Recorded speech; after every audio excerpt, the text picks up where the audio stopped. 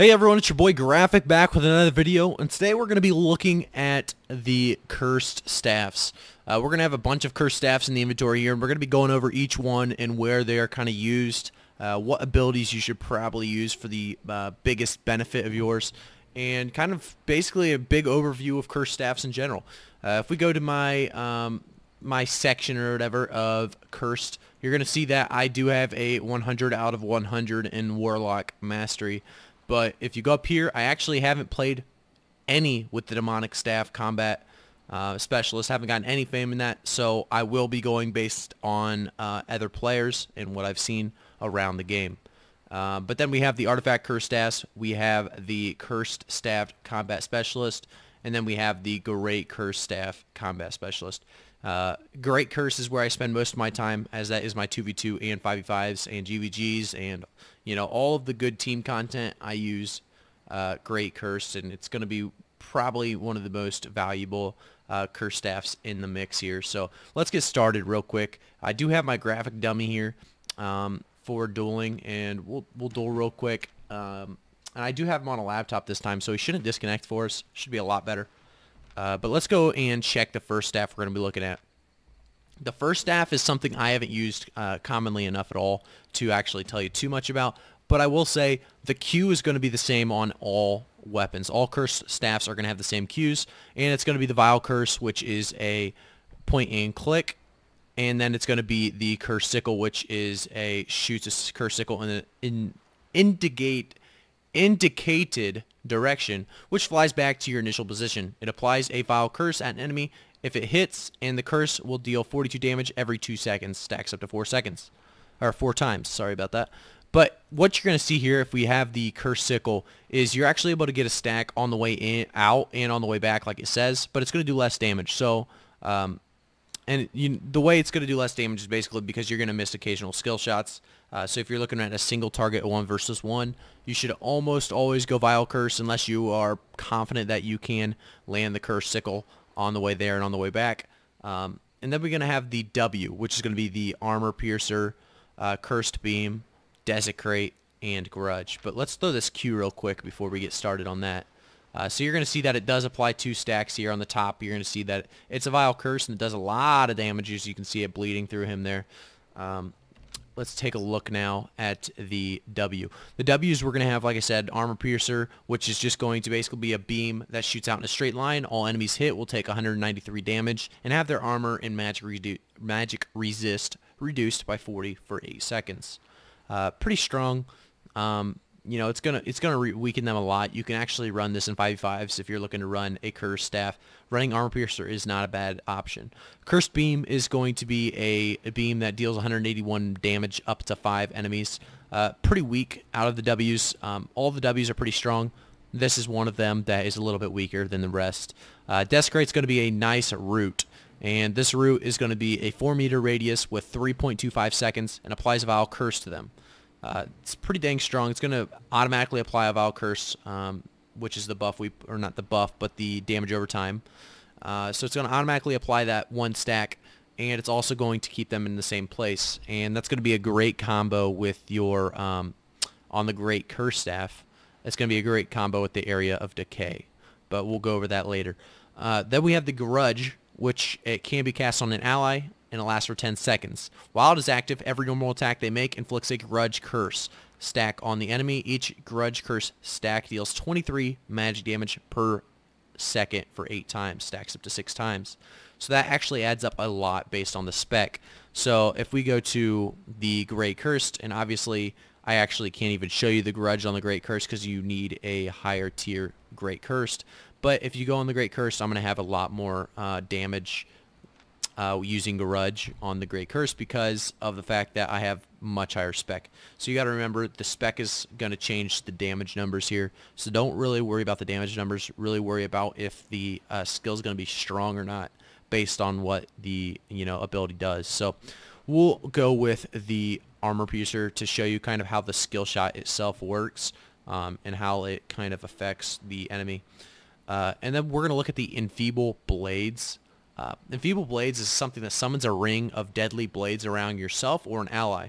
The follow, that follow the target around. The blades will repeatedly damage uh, set by 78 and reduce attack power by 5%, stacking up to 10 times. Uh, Enfeeble Blades is actually somewhat strong if you're able to just toss it on a tank in a GVG or something like that, but really you're not going to be running this guy, uh, this build in a GVG. So, you know, it can be strong in certain situations, uh, just not not too commonly. So, uh, what we like to do also is run Bane or Furious. It's kind of up to you. I like to run Furious, which gives me, after five activated spells, increases your damage by 10, 10% for four seconds.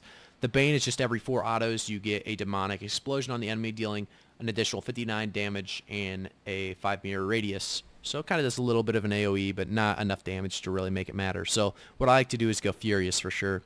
Um, and that's going to be the Life Curse staff. And now we're going to only have to go over the E's for the common, uh, for the rest of these uh, staffs. So it will go a bit faster. And I would like to know, I am doing the one-handed curse staffs first. Um, if you didn't notice, the Life Curse staff does not have a, it's not a two-hand. Um, so you can throw an offhand on there. And the same thing is with the Adept's Curse staff. You can throw an offhand. These are all two-handed staffs down here.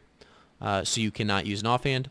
But let's get started and looking at this W. So the W is actually a very thin, um, what do you call it? A very thin hitbox, or not hitbox. It's a very thin ability basically. So it's you know you gotta you gotta aim pretty well. If you're off by a little bit, you will miss. Uh, so that was the W, and it will put resistances as you see there, uh, reduce reduce resistances as you see there. Um, but now we're gonna have the enfeeble blades, and this is something like uh, like it says you can put it on um, your ally or yourself. So let's just pop it on myself because I don't have an ally. And you're going to see that it does a lot of damage uh, if I'm able to stack it and get a lot of damage onto the enemy. Um, this can be a strong item. Uh, it really does depend because it does de a decent amount of AoE damage. Uh, if you're the tank and you throw it on your tank, you know, as he runs in, it's going to do a decent chunk to them. So, you know, it's not terrible, but, you know, it's it's the life curse staff. It's not bad. Uh, but let's move on to maybe what more of you guys have probably used, the Adept's Cursed Staff. This Cursed Staff is very, very strong, uh, and we're going to use the Desecrate this time just so you guys can see that. Um, and then we'll click the Furious, or let's go to the uh, Bane so you guys can see the auto attacks uh, coming in for after four normal attacks. You get that explosion. Uh, but let's see here. It places a death curse on the target and will deal damage to the target after a few seconds, depending on the number of charges of the vile curse on the target. So if you have all four charges and you use the death curse, after a little bit, it's going to do 1,271 damage, which is a lot of damage. A very high burst damage there. Um, and, you know, it's going to be very, very strong to use this uh, in Hellgates or, you know, open world. It's actually strong too because you have the Desecrate and you're going to remember the Desecrate puts a stack on them automatically right away. So what you're going to be able to do is let's get in a duel here. Uh, he's not going to be able to tank enough here for us. Um, unfortunately, I don't have this guy leveled at all. I think he's only tier 3s. Uh, but it should be fine to kind of show you guys how it works. So let's get one stack right in the beginning with the, well actually, you know, let's we'll do the four auto attacks so you guys can see the four auto attacks damage. So it does that little damage uh, of area burst there. Um, but let's try the Desecrate. So the Desecrate is going to add that stack uh, already on him. And we're going to add another stack, and we're going to add one more stack, and we're going to toss the E. Uh, auto attacked on accident. But you're going to see that skull on top of his head. And after a while, it's going to explode and do the damage of the number, based on the number of charges it has on his head. Um, Obviously, you didn't really get to see it too well there, but it, it does, it was just about to apply and explode and do that damage. So that's pretty much the one-handed curse staff right there. Uh, we're going to move on to the curse skull. Actually, let's go to the uh, great curse because it's pretty much the same concept as uh, the curse staff. It's actually just, you know, good in those same scenarios as two e twos and things of that matter. So let's go with the curse, uh, wait, you already saw the curse sickle. Um, I guess we can throw the curse beam on him um, because why not? And then uh, let's just stick with Bane, I guess.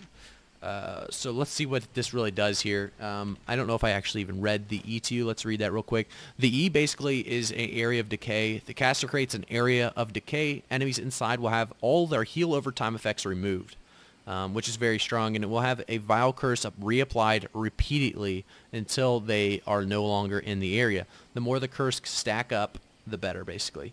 Um, and we're going to run Desecrate usually with Area of Decay uh, for one big, big reason is that the Desecrate's going to add that one stack, and then we're also going to be able to toss the Area of Decay right underneath where he can't move. Um, so we're going to use that right now. We're going to show that. That he can't move right... Oh, well. Got to probably be dueling them uh, first. But you saw the idea right there that you want to, you know, you want to stack this. You want to throw your Desecrate down, and then you want to use your Area of Decay right after as they are stuck in there and taking a lot of damage. Um, but let's try that again real quick. I don't think I'm actually going to have the mana for a second here. Energy cost 34, 49. Uh, we got to wait a tad here. But basically, um, you know, it's... I think we're good now. Okay. But basically, it's a very good combo. If you lay your W down, then you lay your E down. It's just a lot of damage you're going to be putting down. So you're seeing here the stacks are going up. They get to that 4. And it's going to do a lot of damage. You're going to see the curse staff is just very, very strong damage over time. And that's why people use it in fives because it's hard to out heal. Uh, definitely when, you know, in fives you're going to want to run the curse sickle and you're going to be able to throw that thing out and get, you know, a couple enemies hit with different cursed and, you know, how they're going to heal everybody at the same time. Without the big resets from a healer, it's going to be about impossible. So uh, that's going to be the great curse. We're going to move on to the cursed skull. The cursed skull is going to be uh, pretty unique here as um, this is an ability that is a W. You haven't seen this one yet because uh, you usually have to have higher tier, but since we're using the Cursed Skull, we actually have it right away. Uh, tier 4, usually you're going to have to have tier 6 to have the Dark Matter. The Dark Matter is going to be an option for GVGs and 5v5s as it can do a lot of damage.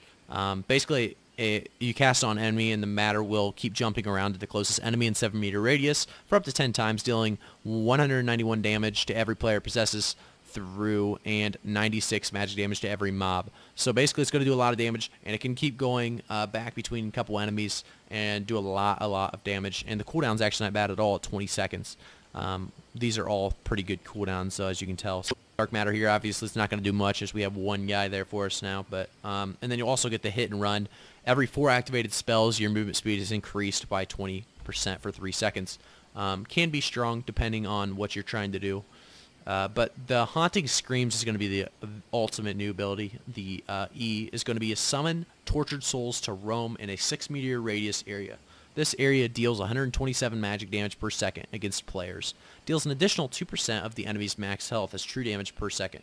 Uh, this is going to be an item that's decent in ZVZs. I actually ran it for a couple ZVZs. If you look at my later videos or earlier videos, you're going to see that I did actually run the Cursed Skull for a few videos. Um, in ZVZs. And it, it, didn't do bad. I did do some damage. You're going to do a lot of damage to tanks as it's true damage, and it's just going to melt um, anybody with stacked armor instead of HP. So what we're going to see here, or HP instead of armor, sorry about that. But let's see what we got here. We have the Vile. Well, you know, we almost did it again, but we couldn't this time. So let's get that duel going. Uh, but we're going to have the dark matter to show you guys right away. Um, and the dark matter obviously will be bouncing around the different enemies. Obviously, in this case, it won't uh, but we're going to toss that on the guy. And it does take a little bit to cast, and that's going to be one of the biggest reasons that it, you know, it can get canceled. So it's it's kind of a predicament to try to use that in ZVZs or anything like that. Um, ZVZs, you're usually just going to want to use the Armor Piercer, as you're not going to be able to get close enough for any of this other stuff. Maybe a Desecrate, but for the most part, Armor Piercer, or maybe Curse Beam. Uh, but basically, that's going to be the Dark Matter. And now we're going to toss down the E, which is Haunting Screams. So you toss that down and actually moves forward as it goes. So you're going to see it does 2% plus that extra damage right there. Um, a pretty good chunk of damage, and it lasts a pretty long while. Uh, but it's you know it's a pretty big AOE and it's hard to dodge. So that's going to be one reason why act, uh, the Curse Skull is actually pretty decent and pretty good uh, use. But let's go to the Damnation Staff, another GV or not GVG, another ZVZ item that is possible to use in ZVZs, and you can use this and be okay um, using it. By the way, this is another item that has the dark matter um, and ha also has the hit and run move uh, mechanic. I didn't really show you guys that last time, but I'm pretty sure it's fairly obvious to understand. Every four activated spells, your movement speed is increased by 20% for three seconds, allowing you to kite better and faster. Uh, but let's see what this E does. So this E is it creates an area on the ground for of a radius of 13 meters which deals 487 magical damage and reduces resistances by 49 for 6 seconds. It's going to be actually a pretty strong ability as it's going to reduce a lot of people's um, a lot of people's resistances is going to reduce by a lot because it doesn't do a much that much damage, but it's all about the resistance being reduced for your longbows and your, um, you know, pretty much every other ZVZ damage item. Really, it's going to help them all out. So uh, let's toss the dark matter so you guys can see what that looks like again. I always throw an auto for who knows why, and let's throw the E down. So the E is actually going to be a very long um, timer on basically the kill. It's going to be a very long, Cataclysm takes, let's see, cast time 2.5 seconds. It's going to be a very, very long um, time to actually cast, so you're going to want to make sure you take um, something that either speeds up your cast time, obviously a pork omelet, or uh, you know some gear that might speed it up as well. There's obviously a lot of different options there, but pretty decent for ZVZ is Damnation Staff. Uh, the next item, I think, is the final item on the list for the cursed staffs, is we're going to have the demonic staff. The demonic staff is going to be pretty much the same ordeal as all the other cursed staffs in a way, but with a little twist. It's got the Field of Death. Uh, the Field of Death creates an area of death on the ground that prevents 60% of healing and deals 29 damage to players and 64 damage to mobs per second. It also reveals invisible enemies inside the area. Uh, it's definitely different than um, you know. It has different E ability than every other curse staff. Like it's it's very unique to uh, you know reduce healing and show invis. I I tend to think that this couldn't possibly work in 2v2s if you use your E correctly and reduce the healing and show invis units. So if they're running a double damage and they use invis to their advantage, or they're running a healer and you just destroy their healing with uh, Field of Death. I have not tried it yet. Um, I just have such low spec on the um, actual uh, staffs themselves, or not the staffs themselves, but the, uh, what do you call that? The, I can't think of the name and I need to check it out. Let's see here. The artifact. the artifact curse staffs. I don't have much spec on them. Obviously I have 100 mastery, so I'd be fine. But um, I haven't actually tested that, so I could try uh, the demonic staff out. But let's test on the dummy like we do with all of the other ones as we get started. Hopefully you guys like this video. Let me know if you guys liked the dummy being added in instead of just talking about the abilities and going over what they're good for. Uh, adding the dummy in I feel like does add a little perspective on what the abilities actually do. Uh, that's the Desecrate going to add that stack, remember, and it's going to keep them snared. Uh, the Field of Death we're going to lay down now. Um, and you're going to see it right there. If he was invis, you'd be revealed, um, as well as the healing is reduced. It's not going to do a ton of damage, like you know your other abilities might do, but it also lasts for a little bit longer if you couldn't tell there. Um, it did last for, let's see here, how long did it last? Prevents healing, uh, also reveals, I don't know if it even really says. Basically, it lasted for quite some time there. Um, but that's going to be the curse staffs for today. Uh, the overview of the curse staffs, and we're going to be going over all items eventually in Albion Online, so just stick around with me and kind of follow me along as we go through all of the items.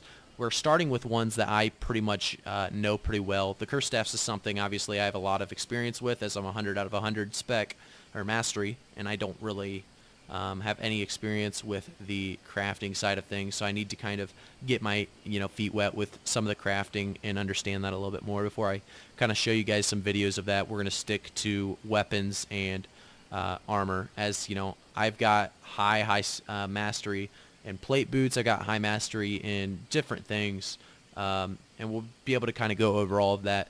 Uh, the more we you know, go through all these overviews and get through all different kinds of items and weapons and armor and whatever else. So thanks for tuning in, guys, today's video, and I hope you guys liked the Curse Staffs overview. Uh, armor, as, you know, I've got high, high uh, mastery and plate boots. I got high